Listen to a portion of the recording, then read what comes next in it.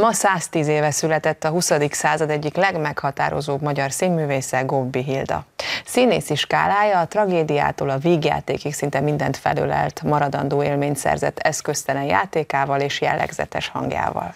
A jeles évforduló alkalmából szombaton az m az Egy gazdag hölgy szeszélye című filmet tűzi műsorára, az alkotás Gobbi Hilda utolsó filmje. Ugye te voltál a legrosszabb tanuló az osztályban? Nem.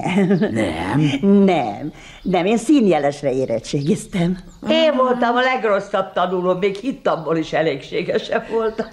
Ő, Luisa, de Lajosnak hívtuk. Az önképző körben valahányszor színdarabot játszottunk, ő játszotta a fiú szerepét. Gyere át, Lajos!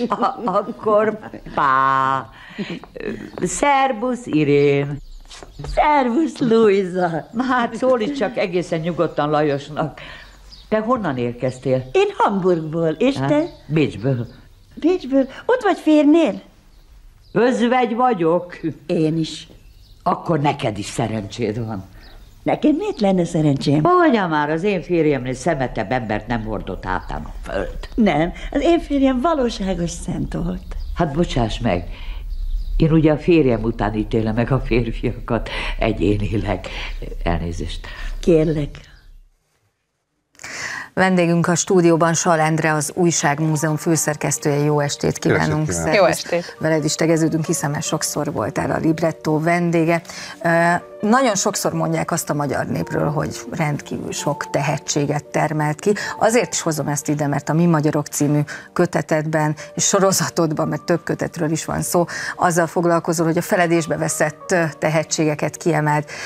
És meglepő első hallásra, hogy Gobbi Hilda is bizonyos értelemben közéjük tartozik. Mi ragadott meg az ő történetében? Hát Gobbi Hilda azon kívül, hogy egy zseniális színésznő volt, azt elmondhatjuk róla, hogy, hogy rengeteget tett a színjátszásért. Tehát azt mondjuk, hogy van Jászai Mara és van Bajor Gizi, én oda sorolom őt is a legnagyobbak közé, hiszen ne felejtsük el, hogy azon kívül, hogy remekelt a színpadon és a filmekben, mellett ugye a színészeket segítette, ugye a Bajor Gizi Színész Múzeumot neki köszönhetjük, akkor a, a szegény színészek házát is összehozta. És azon... Miből fakadt ez a segíteni való szándéka? Nekem meggyőződésem, hogy a, az ő gyerekkorából fakadt, azt ne felejtsük el, hogy nagyon nehéz körülmények között nőtt föl. Az ő édesapjának egy tapéta boltja volt, de aztán sajnos a kaszinókba járt, és a házassága tönkrement, és hát a kislány az pedig az édesanyjával maradt, aki, aki meg megpróbálta eltartani a gyereket kártya de hát ugye az nem volt megoldás, és hát nélkülöztek, szükséglakásokban laktak, sokszor éhezett, és azt is lehetett olvasni az önéletrajzi kötetében például, hogy,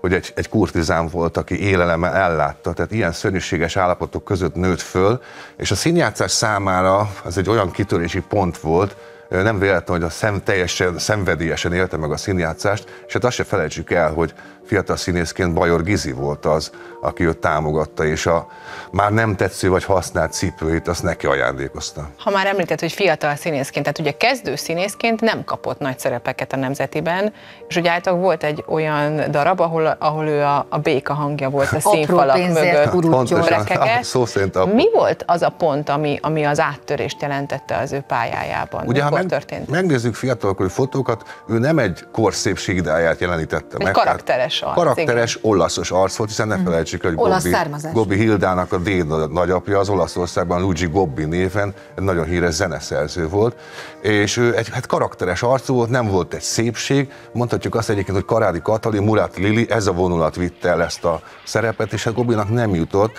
Azért azt ne felejtsük el, hogy, hogy ő azért a második világháború alatt az ellenállásban dolgozott, és hát a a kommunizmust híve volt, és hát végül is ez adta meg neki később a lehetőséget. Teszem hozzá, hogy 1956 után ő csalódott a kommunizmussal, és csalódott és, és szakított is velük, de hát igen, mond, öt filme volt összesen a második világháború végig, és hát utána pedig teljesen kiteljesedhetett. Egyébként azt is mondták rá a játékával kapcsolatban, hogy egészen elképesztő erővel tud magánál idősebb karaktereket megformálni, ha úgy tetszik, tetszőleges. Olyan öreg a tudott lenni a színpadon. színpadon, amilyen akart, bocsánat, ezt mondta Avar István. ezt Avar István mondta róla. Hát így volt, rendkívül sokoldalú volt, és ami nagyon érdekes, és az ő nagyságát mutatja, hogy ő mellékszerepekben, kisebb karakterekben is el tudott vinni egy filmet.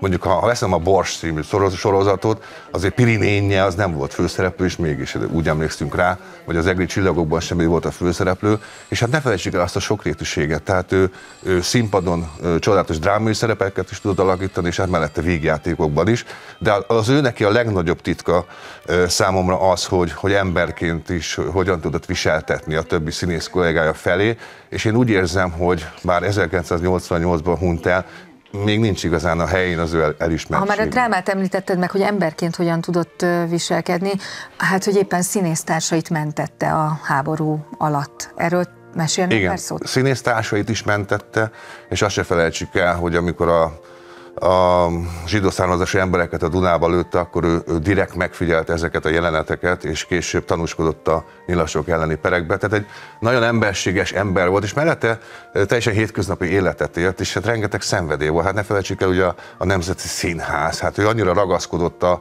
Blaha üzletéren a metróépítés miatt fölrobbantott hm. Nemzeti Színházhoz, hogy tényleg téglánként szinte hazavitte, és ugye Visegrád Szentgyőr pusztán lett a Patkó villa, az ő kedvenc otthona, ahol ha tehette a teraszon üldögélt, na az 80 ban a Nemzeti Színház tégláiból épült. És ugye, és ugye, ugye neki volt egy nyaralója is, amit szeretett volna felajánlani a színészek javára. Igen, pont ez De volt. most az enyészeti. Hát pont a Patkó Villa volt az, ugye Gobi Hildának nem volt gyermeke, nem volt leszármazottja, és ezért mindent a színészek javára ajánlott fel a halála előtt, és a Patkó villát is egy ilyen színész képzőnek gondolta. Hát sajnos ez nem jött létre azóta se. A villa megvan, jelen pillanatban zárva van, de én nagyon örülnék, hogyha egyszer Hát, ha valaki hallja ezt, Igen. és majd úgy dönt, hogy valamit tesz. És még egy érdekességet hadd meséljek róla, ami, ami szintén megragadó. Imádta a patkókat Gobi Hilda, hogyha vidéken forgattak, akkor mindig falusi Gyűjtötte helyszíneken őket. gyűjtötte, megnéztem, 1967-re több mint 2000 patkója volt.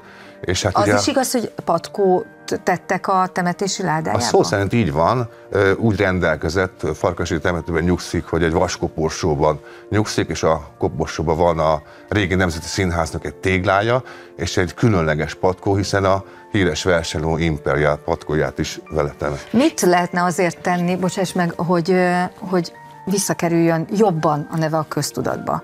Hát most szerintelenül mondom, hogy én megpróbálok mindent, hiszen könyvet is írtam, ahol szerepelt Gobi Hilda. Ugye van neki szobra, van díj, amit elneveztek róla, de én nagyon örülnék, hogyha nem csak ő, hanem az a nagy színész generáció, akik már elmentek és, és nem ismerhetik a fiatalok őket, hogy állítsuk őket középpontba is példaként, mert mert nem csak remek színészek voltak, hanem sokuk remek emberek, és én szeretném azt, hogyha a fiatalok megismernék ezeket az embereket. Nagyon szépen köszönjük. Legyen így. Itt voltál, és legyen így. Köszönöm.